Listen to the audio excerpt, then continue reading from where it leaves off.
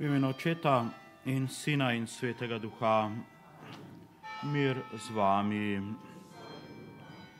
Dragi bratje in sestre, zbrali smo se na tem milostnem kraju, kjer se je Marija razodela kot kraljica miru. In kot smo včeraj slišali, je Fatima prostor molitve za mir.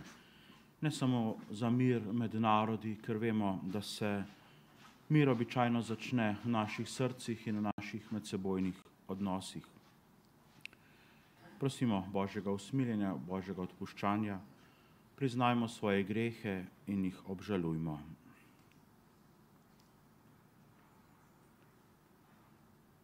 Vsemogočnemu Bogu in vam, bratje in sestre, priznam, da sem grešil v mislih, besedah in dejanju, mnogo dobrega opustil in slabega storil.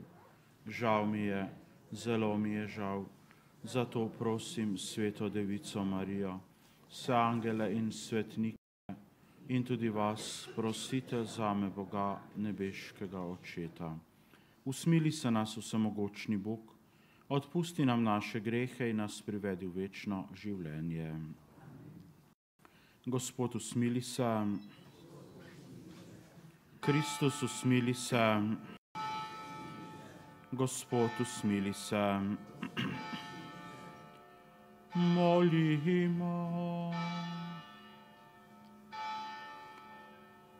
O Bog, mater svojega sina si postavil tudi za našo mater. Podeli nam moč, da bomo ustrajali v spokornosti in molitvi za odrešenje sveta in tako vsak dan učinkoviteje širili kraljestvo Kristusa, tvojega sina ki s teboj živi in kraljuje vekomaj.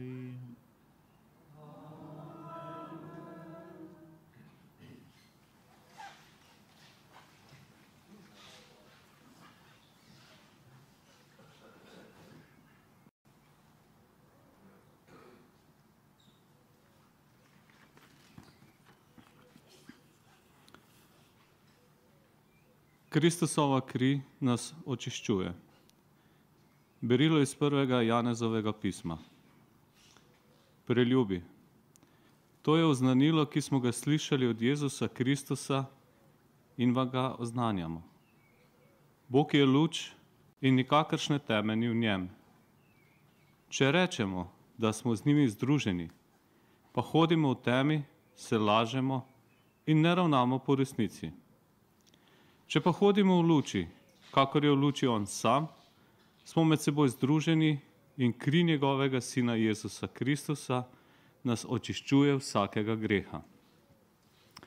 Če rečemo, da nimamo greha, sami sebe varamo in v nas ni resnice. Če svoje grehe priznamo, je zvest in pravičen, da nam naše grehe odpusti in nas očisti vse krivičnosti. Če rečemo, da nismo grešili, ga postavljamo na laž in njegove besede ni v nas. Otroci moji, to vam pišem, da ne bi grešili. Če se pa kdo pregreši, imamo zagovornika pri očetu Jezusu Kristusu, pravičnega. On je sprava za naše grehe, pa ne samo za naše, temveč tudi za ves svet odpel. Glejte, ženin gre, pojdite naproti Kristusu Gospodu. Glejte, ženin gre, pojdite naproti Kristusu Gospodu. Poslušaj, hči, glej in nagni svoje uho, pozabi svoje ljudstvo in hišo svojega očeta. Kralj si bo želel tvoje lepote, on je tvoj gospod, njemu se pokloni.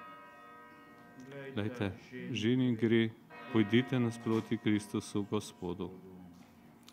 Vsak rasna vstopa kraljeva hči, zlate tkanine so njena obleka. S pisanim oblačilom ogrnjeno peljejo k kralju, za njo vodijo k tebi device, njene družice.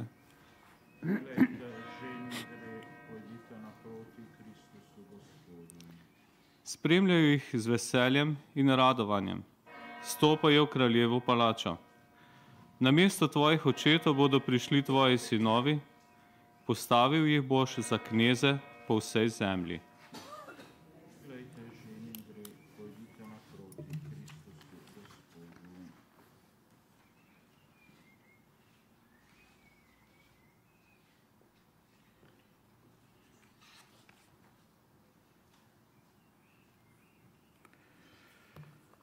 Gospod z vami. Iz svetega evangelija po Mateju. Tisti čas je povedal Jezus učencem to priliko. Nebeško kraljestvo bo podobno desetim devicam, ki so vzele svoje svetilke in šle naproti ženinu. Pet izmed njih je bilo nespametnih in pet pametnih. Nespametne so vzele svetilke, niso pa vzele s seboj olja. Pametne pa so vzele olje v posodicah s svetilkami ured. Ker se je pa ženin mudil, so vse podremale in zaspale. O polnoči pa nastane upitje. Glejte, ženin gre, pojdimo mu naproti. Tedaj vstanejo vse tiste device in napravijo svoje svetilke. Nespametne pa rečejo pametnim dajte nam svojega olja, ker naše svetilke ugašajo. To, da pametne odgovorijo, da morda ne pojde nam in vam, pojdite rajši k prodajalcem in si ga kupite. Medtem, ko so šle kupovati, pa pride ženin, tiste, ki so bile pripravljene, gredo z njim na svatbo in vrata se zaprejo. Poznaje pridejo tudi druge device in pravijo, Gospod, Gospod, odpri nam.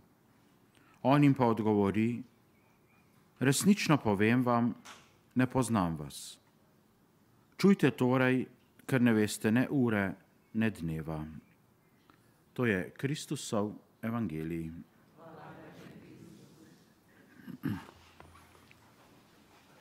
Samo toliko na začetku, da spomnim, petje ni prepovedano tukaj, tako da če se kdo pogumi, kar pogumno. Leta 1917, ko je divjala prva svetovna vojna, je papež Benedikt XV. litanija Matere Božje dodal sklik kraljica miru. Ta papež miru, kot mu tudi pravimo, je želel, da bi katoličani po vsem svetu na priprošnjo Marije, kraljice miru, molili, za konec uničujoče svetovne vojne. Tisti, ki se spoznajo na jezike, pravijo, da beseda ave, s katero je ob oznanjenju nad angel Gabriel pozdravil Marijo, pomeni tudi mir tebi. Tako da vsakič, ko pozdravimo Marijo z ave, razglasimo, da je Marija tista, ki je milosti polna in polna miru. Pravzaprav gre za eno in isto stvar. Zato je, lahko rečemo, prošnja za mir stalno prisotna v molitvi cerkve. Jagnje Božje podari nam mir, molimo pri vsaki sveti maši. Mir in resnično soglasje, sloga in edinost so pogosto prošnje v litanijah. Naj počivajo v miru je molitev, ki jo toliko krat na dan ponavljamo, pri, kadar molimo za duše v vicah. Pri eni od sveti odmaš v čas devici Mariji pa crkev moli, Jesejeva korenina je vzcvetela, devica je rodila Boga in človeka, Bog je obnovil mir v sebi in spravil najnižje in najvišje. Danes pozdravljamo Marijo in jo kličemo kraljica miru, prav na tem mestu, kjer se je razodela kot kraljica miru. Prosimo jo naj moli za nas in za svet, za mir v nas samih, za mir v naših družinah, za mir v naših skupnostih, za mir v našem narodu in za mir po vsem svetu.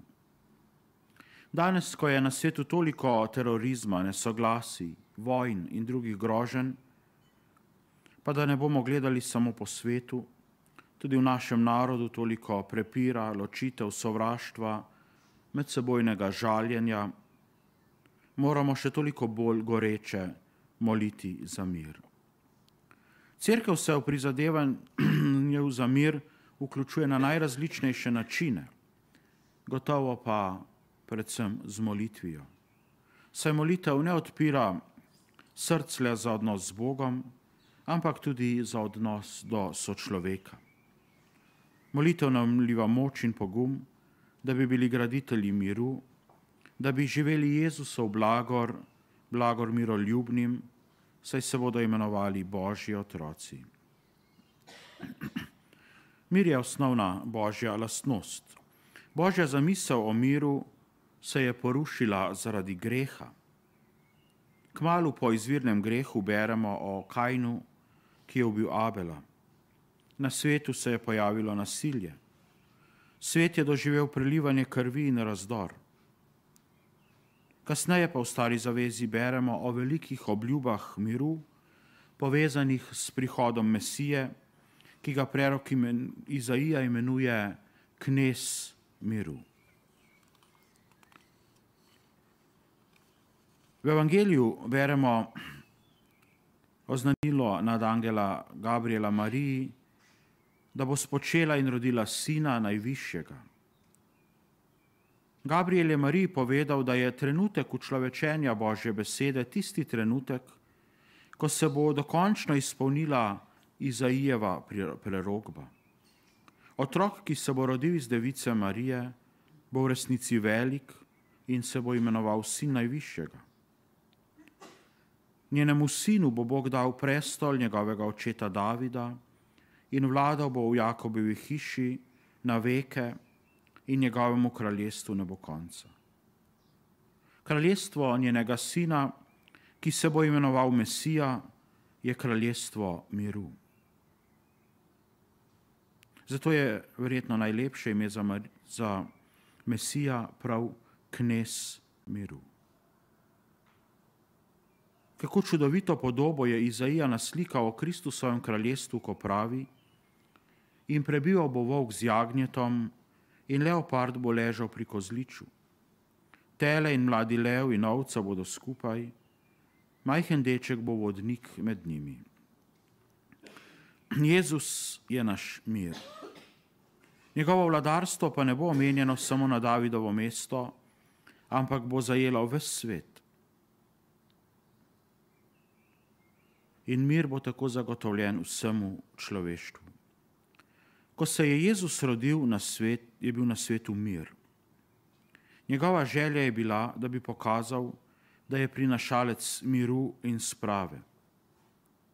Prva pesem, ki so jo slišali ob njegovih jaslicah, je bilo angelsko sporočilo miru. Mir ljudem, ki so blage volje. V Nazaretu je mnogo let svojega življenja preživel v miru. Ko je na začetku svojega javnega delovanja v blagrih razglasil ustavo svojega kraljestva, je med drugim spostavil blagor miroljubnim, saj se bodo imenovali Božji otroci. Mir je bilo sporočilo tudi njegove poslednje volje. Mir vam zapuščam, svoj mir vam dajem. Njegova smrt na Kalvariji je bila potrditev trajnega miru za človeka, miru, ki je bil tako drago pridobljen z njegovo dragoceno krvjo. In po vstajenju je bil njegov pozdrav, mir vam bodi, jaz sem, ne bojte se. Tako je Jezus knes miru na začetku, ob rojstvu, knes miru na koncu na Kalvariji in knes miru za vse večne čase. Nikogar ni bilo, čigar življenje bi se tako zgledovalo po Jezusovem, kakor se je zgledovalo Marino življenje. Nikoli ni bila v sporu z Bogom, kot to mnogokrat srečamo pri starozaveznih osebnostih. Že od prvega začetka svojega obstoja je bila obvarovana vsakega greha. In vemo, da je prav greh tista stvar, ki lahko dušo oropa miru. Bila je kakor ograjen vrt, kamor nikoli ni mogel stopiti vrvež sveta. Če obstaja kakšno znamenje Marine svetosti, je prav gotovo mirnost njene duše. Čeprav kot vse matere tudi Marija nikoli ni poznala nedejavnosti, nikoli ni imela praznih rok, 30 let je skrbela za Jezusa, potem se je soočala z njim, ko so ga preganjali, še posebej pa, ko je stala pod križem na Kalvariji. Žalosti so se v legijah zgrnile nad njo, vendar nikoli niso mogle škodovati miru v njeni duši, saj je bila mati kneza miru. Bila je nevesta svetega duha, katerega sad je prav mir, mir v duši. Marija je kraljica miru, ker je mati Jezusa Kristusa. Ko sveto pismo govori o miru, govori o stanju blagostanja, sreče, pravičnosti, veselja in lepote. Z drugimi besedami govori o stanju milosti, ki jo je Bog ob stvarjenju namenil ljudem. Zato smo vsi odgovorni za gradnjo miru v naših družinah, skupnostih, soseskah, našem narodu in po svetu. Mir se mora najprej zakoreniniti globoko v srcu vsakega izmed nas, šele na to lahko pričakujemo, da se bo razširil tudi na druge. Kolikokrat rečemo, da izbruhne prepir, da izbruhne vojna, da izbruhne nasilje, izbruhne kot vihar ali hodournik. Če želimo, da nekaj izbruhne, se mora najprej nekje nekaj nakopičiti in ko pride ugodna priložnost, izbruhne. Največkrat se ta nemir, jeza, sovraštvo kopičijo v človekovem srcu in ko izbruhnejo, to vodi v nemir, nasilje, prepir, spor ali celo vojno. Mir pa ne izbruhne, ampak ga je treba neprestano graditi, ga iskati in se zanj truditi. Tudi tukaj nam je lep zgled prav Marija.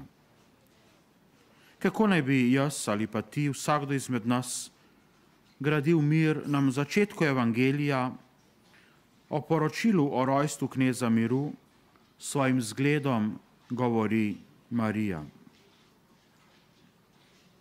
Si predstavljate, koliko miru bi bilo v vaši družini, v vaši soseski, v našem narodu, če bi ljudje znali tako kot Marija svoje besede ohraniti v svojem srcu.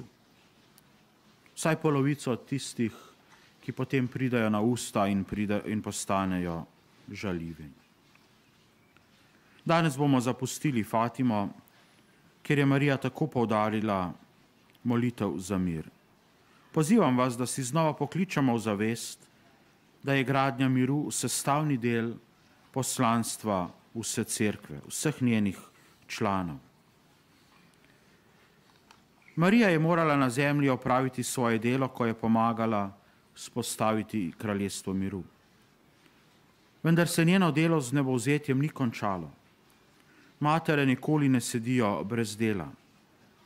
Kraljica miru je tista, ki želi služiti, ki želi služiti spravi in miru, ki jo prinaša njen sin. Mati kneza miru želi služiti in posredovati, da bi mir njenega sina zavladal tudi v naših srcih, v našem življenju in v našem svetu. Mir po Mariji. Ona, ki je na svet prinesla kneza miru, misli na nas in na svet. Papež Benedikt XV. se je zavedal potrebe po njeni pomoči, ko nas je spodbudil, da jo kličimo kraljica miru. Sveta Marija je prvi vzklik litaniji, kraljica miru je zadnji.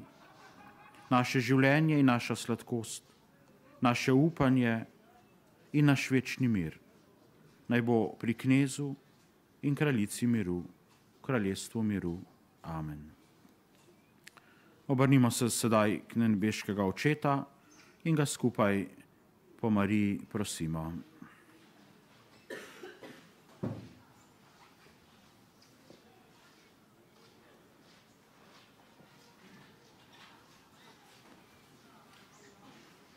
O Bog, naj ohranimo vero in zvestobo cerkvi, Prosimo te, usliši nas. naj ljubimo vse ljudi in živimo v miru in svobodi, Prosimo te, usliši nas. naj bomo vedno usmiljeni do vseh trpečih in jim pomagamo, Prosimo te, usliši nas. naj naše družine ne zanemarijo vsakdanje molitve, Prosimo te, usliši nas. Naj se več naših mladih odloči za duhovne poklice, Prosimo te, usliši nas. naj ne omadežujemo svoje domovine z grešnim življenjem. Prosimo te, usliši nas. Naj se naši bratje v zamejstvu in tujini ne izgubijo. Prosimo te, usliši nas. Naj naši rajni, narodni in verski voditelji uživajo božje plačilo. Prosimo te, usliši nas. In še po osebnem namenu prosimo Gospoda. Prosimo te, usliši nas. Nebeški oče, zahvaljujemo se ti, da si nas vsa stoletja vodil, ohranjal in zbiral pri sebi pod varstvom naše kraljice Marije. Usliši naše vdane molitve in nas tudi v prihodnje tako očetovsko spremljaj po Kristusu, našem Gospodu.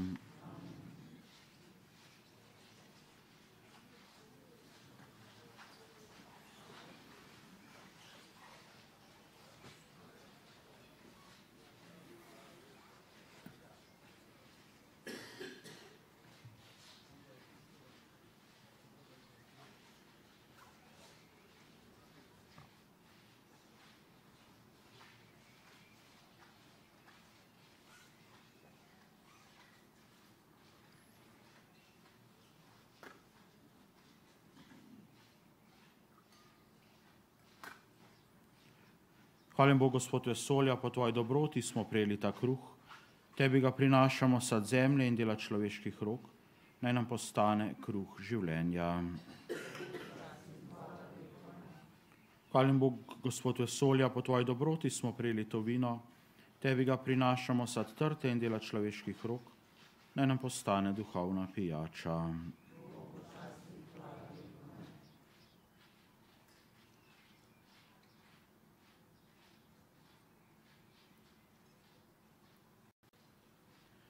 Molimo, bratje in sestre, naj Bog samogočni oče sprejme to našo skupno daritev.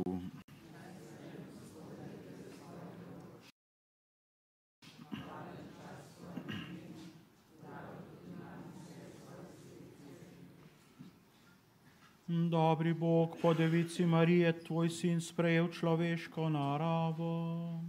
Po tej daritvi naj na Marino priprošnjo, naj bomo rešeni vsake hudobije in se prerodimo v novega človeka po Kristusu našem Gospodu.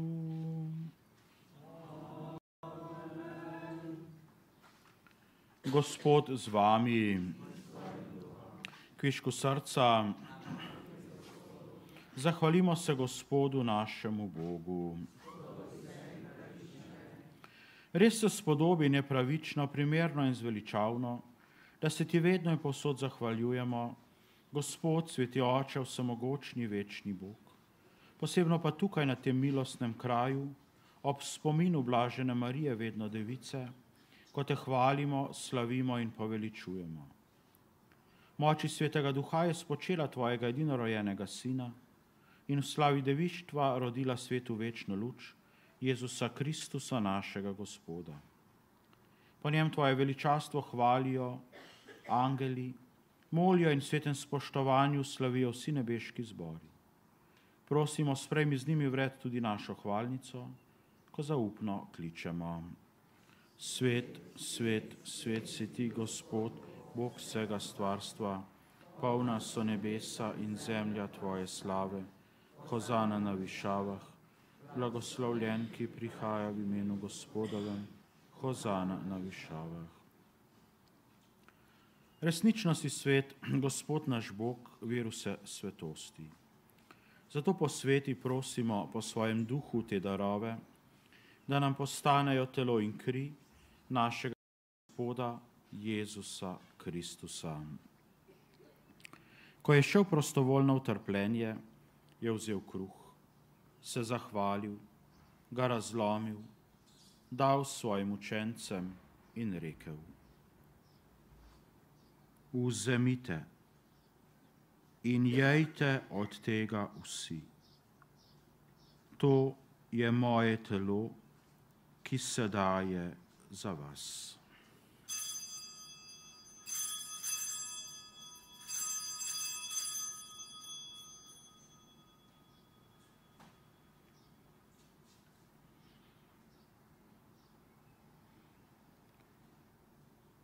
Prav tako je po večerji vzel kelih, se spet zahvalil, ga dal svojim učencem in rekel: Vzemite in pite iz njega vsi. To je kelih moje krvi, nove in večne zaveze, ki se za vas in za vse preliva v odpuščanje grehov. To delajte v moj spomin.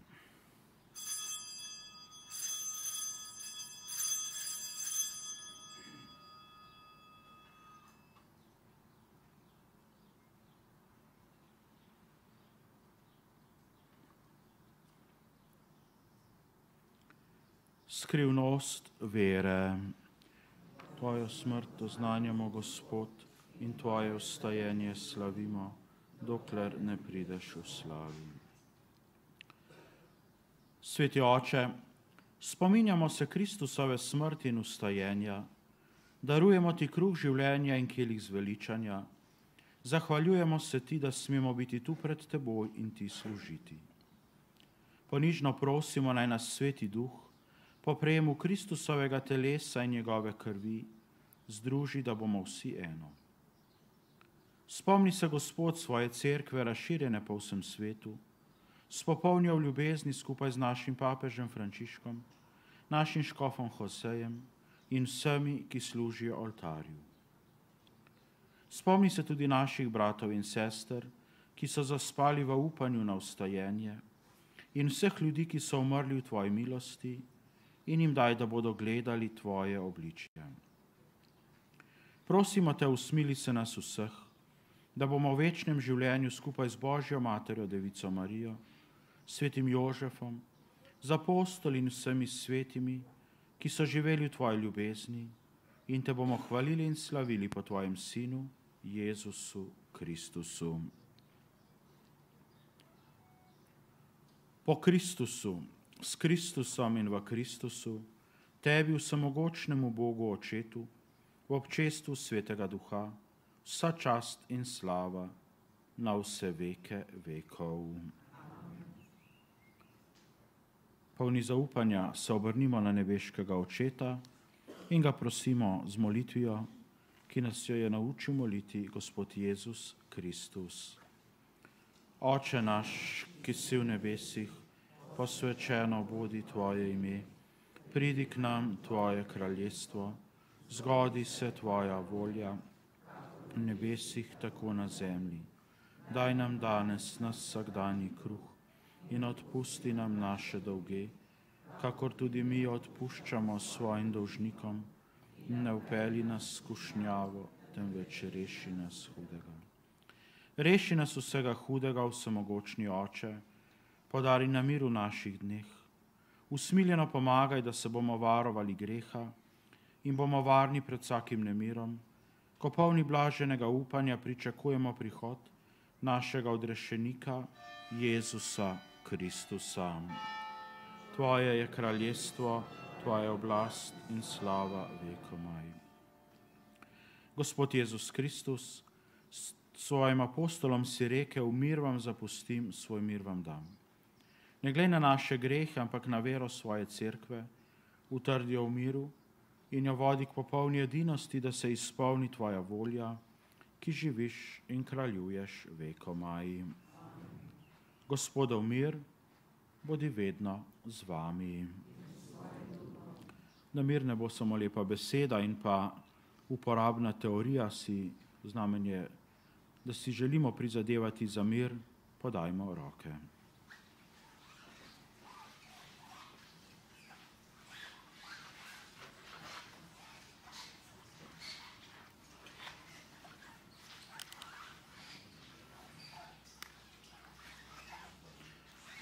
Jagnje Božje, ki odjemlješ grehe sveta, usmili se nas, jagnje Božje.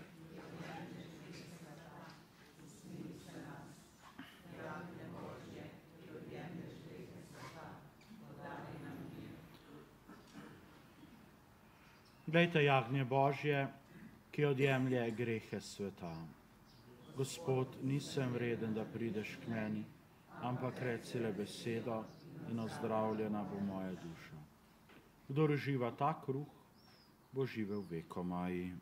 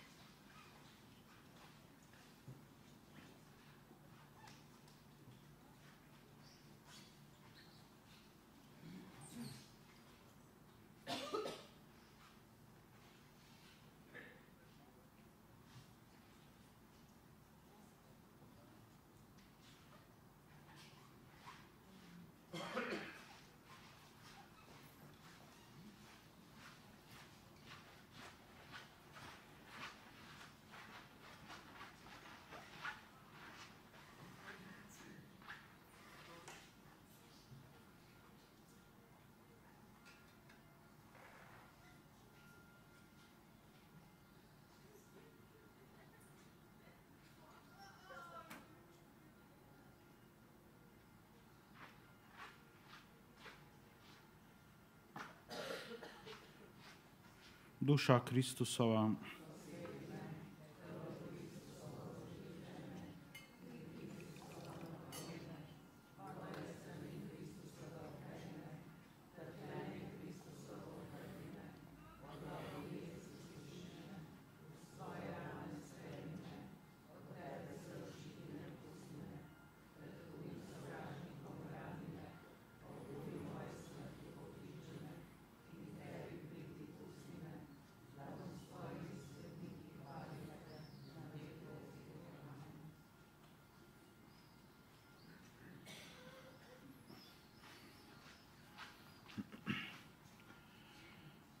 Molimo. Nebeški oče, v svetem zakramentu smo prejeli vir Tvoje ljubezni. Na priprošnjo Božje Matere Marije naj pride k nam Tvoje kraljestvo. Po Kristusu našem Gospodu.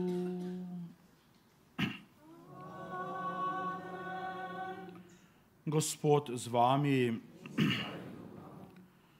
Bog vsemogočni oče naj vas blagoslovi, po odrešeniku sveta, našem Gospodu Jezusu Kristusu, knezu miru, sinu deviške matere Marije. Ona je rodila začetnika življenja, njena materinska priprošča naj vam posreduje Božje varstvo. Vam in vsem, ki danes praznujemo spomin Marije, kraljice miru tukaj v Fatimi, naj Bog podari duhovno veselje, mir in nebeško tolažbo. To naj vam podeli vsemogočni Bog, Oče in Sin in Sveti Duh. Pojdite v miru.